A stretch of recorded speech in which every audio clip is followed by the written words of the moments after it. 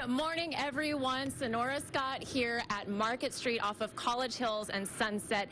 Thanks to uh, Brown Honda of San Angelo, we're doing the KSAN Cares food drive. Now, we'll be out at Market Street all day until about 6.30 p.m. collecting these non-perishable food items. And we will also take monetary donations as well. Now, all of this is going to the Concho Valley Regional Food Bank. It doesn't just serve San Angelo, it serves the entire Concho Valley and even a little bit beyond.